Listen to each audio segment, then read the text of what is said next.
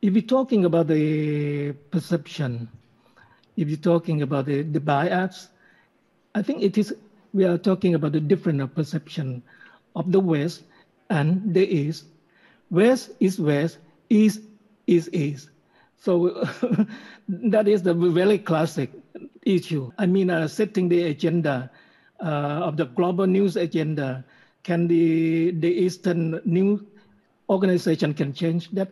I say, yes, we can say that, especially China, because China has power to do that right now.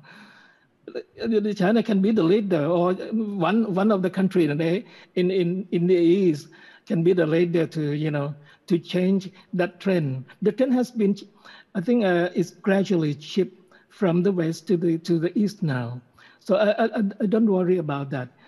We, we, we can, uh, I think we cannot uh, make we cannot change the West, but we can set our own agenda by our own in our group. I believe in the potential of, of the East, especially the, you know, the superpower in, in, the, in the East, including China.